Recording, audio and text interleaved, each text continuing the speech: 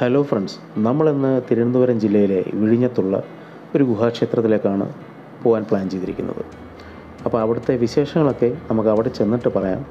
ഞങ്ങൾ ഇന്നത്തെ യാത്ര തുടങ്ങുന്നത് വെളുപ്പിന് അഞ്ചരയ്ക്കാണ്. ഇവിടുന്ന് അതായത് കഴക്കൂട്ടത്ത് നിന്ന് ഏതാണ്ട് ഇരുപത്തേഴ് കിലോമീറ്റർ നമുക്ക് ചവിട്ടിപ്പോവാണ് കോവളം കഴിഞ്ഞിട്ടാണ് വിഴിഞ്ഞത്തുനിന്ന് അവിടുന്ന് ഒരു മൂന്ന് കിലോമീറ്റർ കഴിഞ്ഞാണ് ഈ ക്ഷേത്രം സ്ഥിതി ചെയ്യുന്നത്. അപ്പോൾ ആ യാത്രയിലേക്ക് എല്ലാവർക്കും സ്വാഗതം. ഇന്ന് എന്റെ കൂടെ ഉള്ളത് എന്റെ ഫ്രണ്ട് അജിത്താണ്.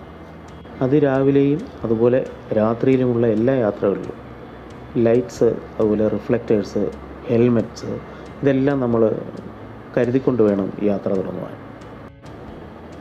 രാവിലെ നമ്മൾ ചായയോ മറ്റൊന്നും കുടിക്കാതെയാണ് യാത്ര തുടങ്ങിയത്.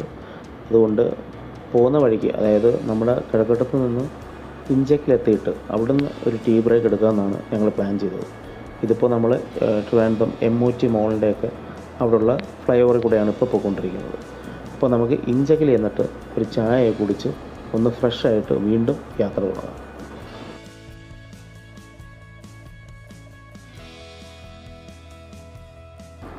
അങ്ങനെ നമ്മൾ നമ്മുടെ ചായക്കട കണ്ടുപിടിച്ചു. അവിടെ നിന്നൊരു ചൂട് ചായയൊക്കെ കുടിച്ച് ചെറിയൊരു ബ്രേക്കൊക്കെ എടുത്തിട്ട് വീണ്ടും ചവിട്ട് തുടങ്ങും.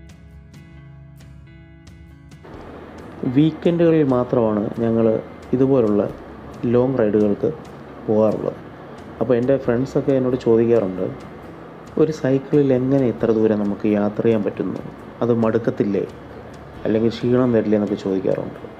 അപ്പം ഒരിക്കലും മടുക്കത്തില്ല എന്ന് തന്നെയാണ് ഞാൻ പറയാറുള്ളത്. കാരണം ഒന്ന് ഇത് നമുക്കൊരു എക്സർസൈസാണ് രണ്ടാമതെന്ന് പറയുന്നത് ഒരു സൈക്കിളിൽ നമ്മൾ ഒരു സ്ഥലം കാണാൻ പോകുക എന്ന് പറയുന്നത് അതൊരു അത് വാക്കുകൾ കൊണ്ട് പറഞ്ഞ് നമുക്ക് ഫലിപ്പിക്കാൻ സാധിക്കില്ല. കാരണം നമുക്ക് ഒരുപാട് അനുഭവങ്ങൾ നമ്മൾ ആ യാത്രയിൽ കിട്ടും. ഒരുപാട് പുതിയ കാഴ്ചകൾ നമുക്ക് സമ്മാനിക്കും. അങ്ങനെ നമ്മൾ ചവിട്ടി ചവിട്ടി തിരുവല്ലത്തുള്ള ടോൾ പ്ലാസയിൽ എത്തി. അപ്പോൾ അജിത്ത് എന്നെ കാത്തവിടെ നിൽപ്പുണ്ടായിരുന്നു ഞാൻ ഈ വീഡിയോ ഒക്കെ എടുക്കുന്ന കാരണം കുറച്ച് പതുക്കെയാണ് പോകുന്നത്. അപ്പോൾ അവിടെ നിന്ന് നമ്മൾ ചെറിയൊരു ബ്രേക്കൊക്കെ എടുത്ത് കുറച്ച് വെള്ളമൊക്കെ കുടിച്ച് വീണ്ടും നമ്മൾ യാത്ര തുടങ്ങും.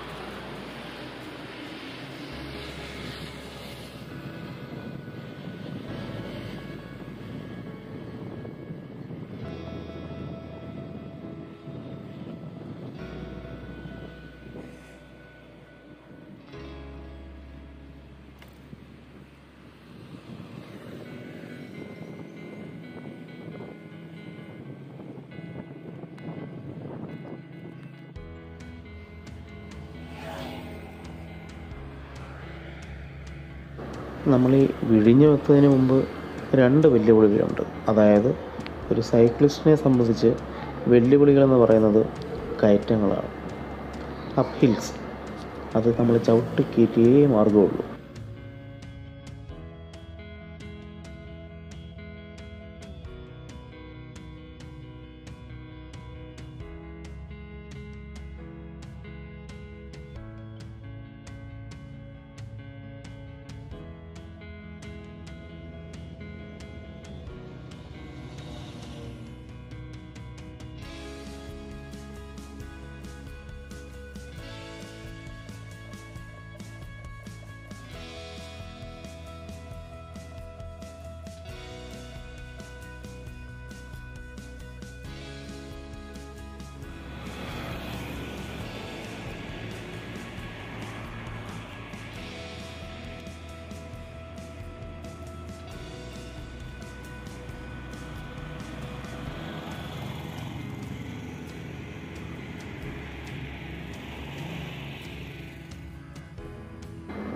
അങ്ങനെ നമ്മൾ ചവിട്ടി റോക്കറ്റ് ടെമ്പിളിന്റെ ഫ്രണ്ടിലെത്തി. പക്ഷേ അത് ക്ലോസ്ഡ് ആയിട്ടായിരുന്നു കാണപ്പെട്ടത്.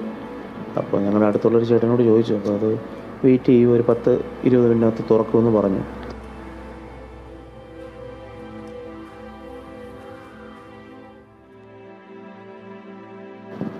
സാബു എന്ന് പറഞ്ഞ ഒരു ചേട്ടനാണ് അവിടെ വന്നത് ഗേറ്റ് തുറക്കാനും ഒക്കെ അപ്പോൾ അദ്ദേഹമാണ് അവിടുത്തെ ക്ലീനിങ്ങും ഒക്കെ ചെയ്തുകൊണ്ടിരുന്നത്. അപ്പോൾ ഞങ്ങൾ ചോദിച്ചുകൊണ്ട് തന്നെ ചേട്ടൻ ഗേറ്റൊക്കെ തുറന്നു തന്നു. ഞങ്ങളകത്ത് കയറി. അപ്പോൾ അവിടുത്തെ കാഴ്ചകളൊക്കെ നമുക്കിനി ഒന്ന് ഓടിച്ച് കാണാം. കുറേ സൈൻ ബോർഡുകളൊക്കെ വെച്ചിട്ടുണ്ട് അതിനെക്കുറിച്ചുള്ള ഡീറ്റെയിൽസും അതിന്റെ ഹിസ്റ്ററിയൊക്കെ എഴുതിയ ബോർഡുകൾ കാണാം. അത് നിങ്ങൾക്ക് പോസ് ചെയ്ത് വെച്ചിട്ട് വേണമെങ്കിൽ വായിച്ചു നോക്കാം.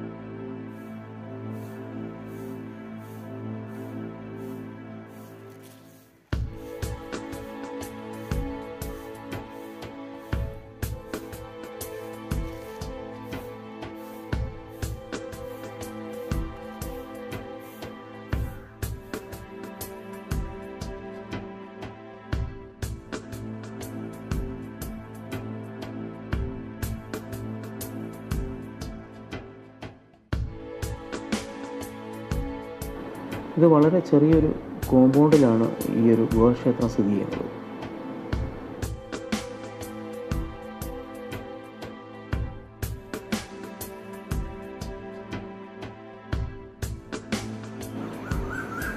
ഒരു അറ മാത്രമുള്ള ക്ഷേത്രമാണ് ഈ വിഴിഞ്ഞം ഗുഹാക്ഷേത്രം.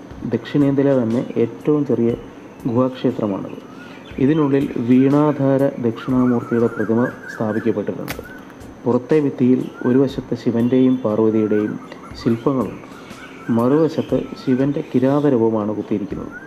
നാല് കൈകളുമായി അമ്പും വില്ലുമേന്തി നിൽക്കുന്ന ത്രിപുരാന്തകമൂർത്തി അപസ്മാരമൂർത്തിയെ ചവിട്ടിപ്പിടിച്ച് നിൽക്കുന്ന തരത്തിലാണ് കൊത്തിവെച്ചിട്ടുള്ളത്. വർഷങ്ങളോളം ഈ ക്ഷേത്രം ശ്രദ്ധിക്കപ്പെടാതെ കിടക്കുകയായിരുന്നു. എട്ടാം നൂറ്റാണ്ടിൽ ആയി രാജാക്കന്മാരുടെ തലസ്ഥാനമായിരുന്നു വിഴിഞ്ഞം. ആയിരത്തി തൊള്ളായിരത്തി അറുപത്തഞ്ചിൽ കേന്ദ്ര സർക്കാർ ദേശീയ പ്രാധാന്യമുള്ള സ്മാരകമായി പ്രഖ്യാപിച്ച ഈ ഗുഹാക്ഷേത്രം ഇപ്പോൾ കേന്ദ്ര പുരാവസ്തു വകുപ്പിന്റെ സംരക്ഷണയാണ് ഉള്ളത്.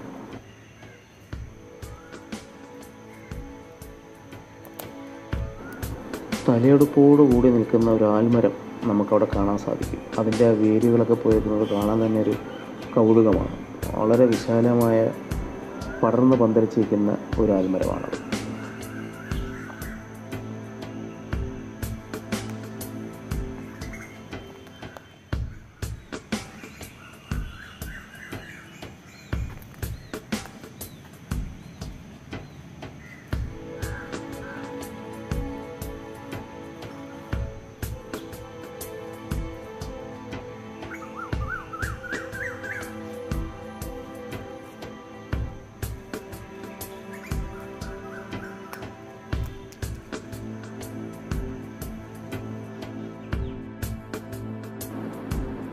ഞങ്ങൾ പിന്നെ അവിടെ നിന്ന് ഒരുപാട് ഫോട്ടോസ് എടുത്തു. ആ ഫോട്ടോസൊക്കെ നമുക്കൊന്ന് കാണാം.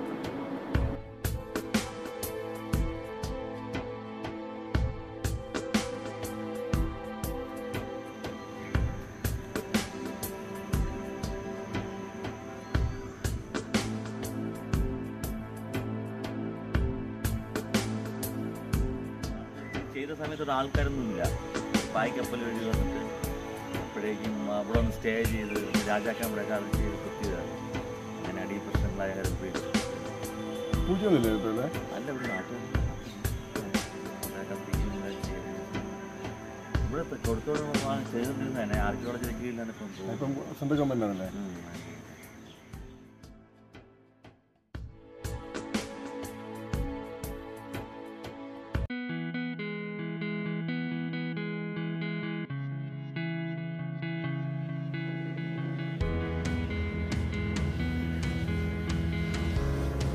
അപ്പോൾ ഇന്നത്തെ യാത്രയും അതിന്റെ വിശേഷങ്ങളുമൊക്കെ ഇവിടെ അവസാനിക്കുന്നു. നമുക്ക് മറ്റ് ഒരു സ്ഥലവും അതിന്റെ വിശേഷങ്ങളുമായിട്ട് വീണ്ടും കാണാം.